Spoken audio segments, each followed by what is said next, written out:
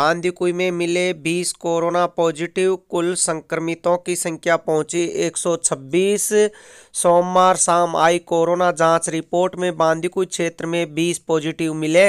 इससे अब corona case की संख्या 126 पर पहुँच गई है। चिकित्सा विभाग द्वारा भेजे गए 200 जाँच सैंपल में 20 कोरोना पॉजिटिव मिले क्षेत्र में कोरोना पॉजिटिव की संख्या में लगातार बढ़ोतरी हो रही है।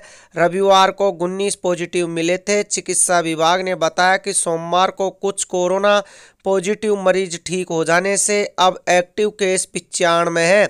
कम नहीं हो रहे हैं। केस कोरोना संक्रमणों पर काबू पाने के लिए चिकित्सा विभाग लगातार प्रयास करने का दावा कर रहा है, लेकिन क्षेत्र में पॉजिटिव का आंकड़ा कम नहीं हो रहा है। रोज़ाना संक्रमितों की संख्या बढ़ती जा रही है।